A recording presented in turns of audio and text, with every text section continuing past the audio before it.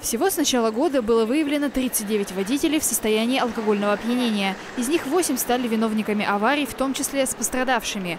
В аналогичном периоде прошлого года таких ДТП было 5. Остальных автолюбителей поймали благодаря рейдам. В следующий раз за руль они сядут не скоро.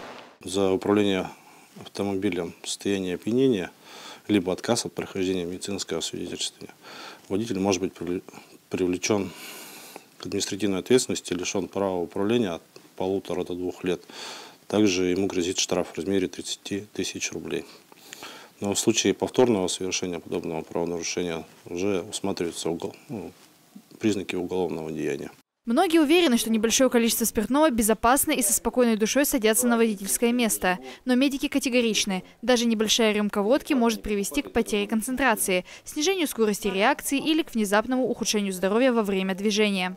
Одному из, из самых известных э, гонщиков, э, это было еще в районе 80-х, 70-х годов, эксперимент проводили, э, при приеме минимальной дозы алкоголя, скорость его реакции, ну это профессионал высочайшего класса, и у него на какие-то доли секундов замедлялись реакции на э, смене окружающей обстановки. В свою очередь это приводило к изменению траектории правильности движения до 20-30 метров. Если это среднестатистического человека, то я могу предположить, что такие реакции бы отклонения в траектории движения могли быть не 10-20 метров, а возможно и 100 и 200. Что это такое на дороге, это понятно.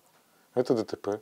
Чтобы выявить таких безответственных водителей и предупредить новые случаи ДТП, сотрудники госавтоинспекции регулярно проводят массовые проверки автомобилей, как правило, в пятницу или выходные.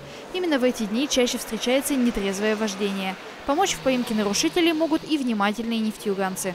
Призываем всех граждан не оставаться равнодушными, если видят такие случаи, что водитель э, неадекватный или садится за руль в неадекватном состоянии, набирать телефон ГИБДД, либо дежурную часть нашу ОМВД.